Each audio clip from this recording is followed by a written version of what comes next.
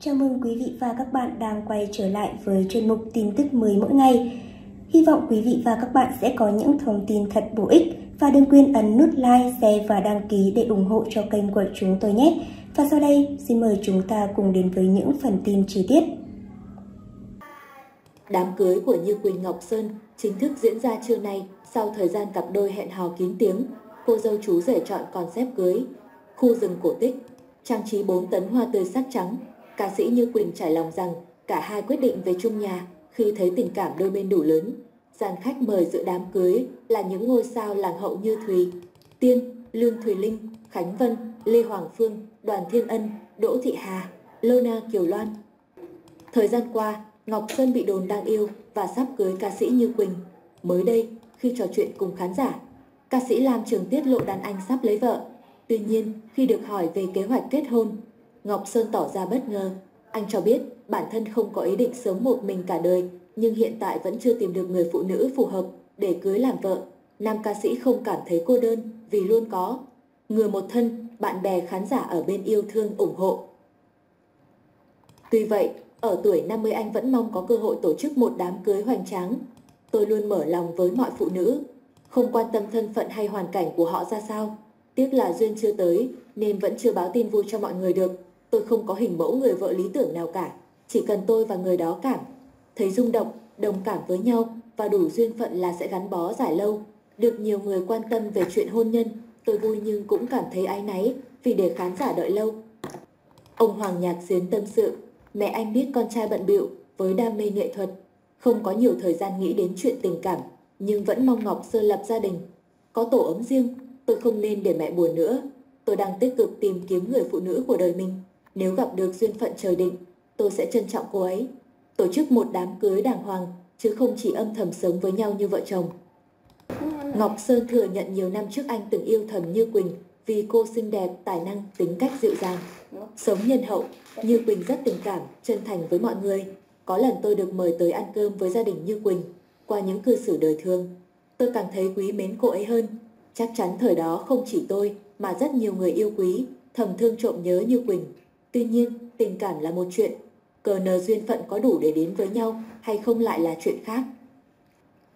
Xuất hiện trẻ trung trong bộ váy xanh ôm sát khoe khéo đường cong, khuôn mặt trang điểm nhẹ nhàng, mái tóc búi cao, nét dịu dàng.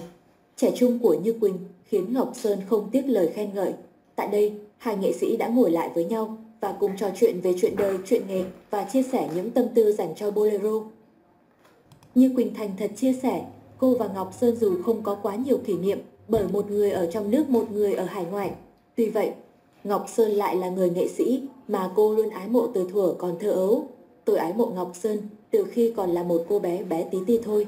Lúc đó Như Quỳnh rất nghèo, không có đủ điều kiện để xem Ngọc Sơn trình diễn. Chị ao ước làm sao để có thể một lần tận mắt chứng kiến người thần tượng mà mình từng ái mộ. Đối với Như Quỳnh, anh Ngọc Sơn như một thần đồng. Anh có nhiều điều đặc biệt, táo bạo, cách trình diễn cực kỳ xuất sắc. Thời gian ấy, Như Quỳnh thậm chí còn ước phải chi mình là con trai thì cũng sẽ bắt chước giống như anh Ngọc Sơn vậy. Ngọc Sơn, ấn tượng ban đầu của anh với Như Quỳnh cũng cực kỳ sâu đậm. Trong một lần ghi hình, anh đã được vị đạo diễn giới thiệu hợp tác với Như Quỳnh cùng những Mỹ từ Như Thiên Tài. Một siêu sao xuất hiện, cực kỳ xinh đẹp, nam danh ca thẳng thắn chia sẻ. Lúc đó anh ước gì lúc đó mình có thể cua được Như Quỳnh. Mặc dù lúc ấy Như Quỳnh mới chỉ là một cô bé mười mấy tuổi đâu tài năng và phẩm chất ngôi sao. Cách sống tâm đức của cô đã chinh phục nhiều người trong nghề.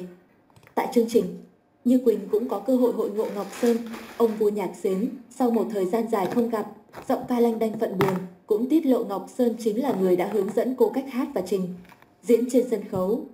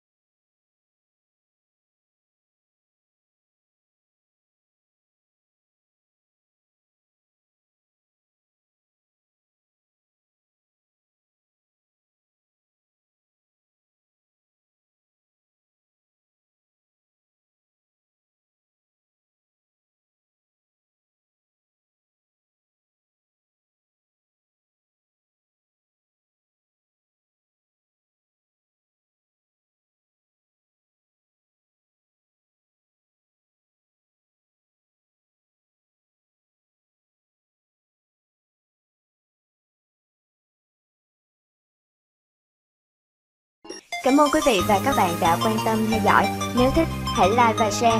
Và đừng quên bấm nút đăng ký tại đây để xem thêm nhiều video hấp dẫn hơn của chúng tôi. Xin chào và hẹn gặp lại.